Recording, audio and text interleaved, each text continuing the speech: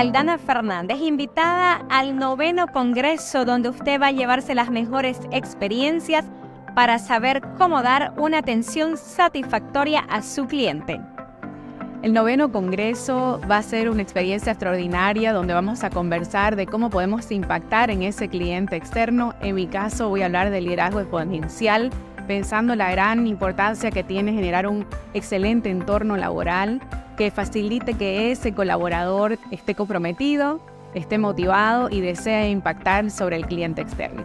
Eso es fabuloso porque la atención al cliente es lo que determina si un cliente seguirá siendo tu cliente o lo dejará de ser. Correcto, hay que atraer, pero a la vez fidelizar y para eso necesitamos conocer cómo es nuestro cliente externo, pero también tener en cuenta a nuestro cliente interno para que él pueda de alguna manera dejar fluir aquellas cualidades, talentos que tiene para lograr esa conexión especial con nuestro cliente externo. Exactamente, porque el cliente interno o colaboradores dentro de una empresa, si no están tan bien motivados, si no se sienten parte de la organización, no van a tener ganas de dar lo mejor de sí mismos. Entonces hay que tener ese equilibrio de que también se sientan importantes tanto como lo es el cliente externo. Correcto, y a veces descuidamos, ¿no? Tomar en cuenta a nuestro colaborador y para ello el liderazgo exponencial es importantísimo. Estamos hablando en el Congreso de Tecnología, estamos hablando de experiencia,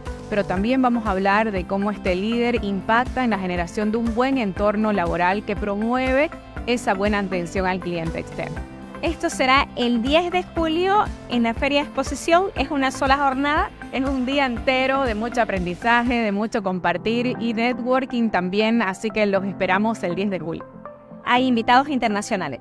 Exacto, hay invitados internacionales, así que de muy alto nivel que nos van a traer su experiencia y también estamos nosotros, los locales, que estamos preparando información de gran valor para que las organizaciones se puedan implementar prácticas de éxito.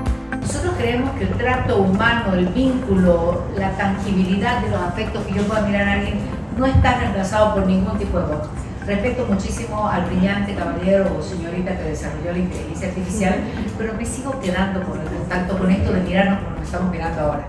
Creo que este Congreso direcciona para que ese mix sea perfectamente administrado y las empresas sean exitosas en su gestión. Y ahora estamos con Nadia Eid, representante de Nacional Seguros. Y como siempre lo dice, para Nacional Seguros lo más importante son las personas. Por eso se debe seguramente su participación este 10 de julio en tan bello congreso. Felices de verdad, Carmen Julia. Eh, nos encanta saber que hay la disposición y la apertura para aprender nuevas técnicas, para conocer más. Y el desafío lo tenemos todas las empresas.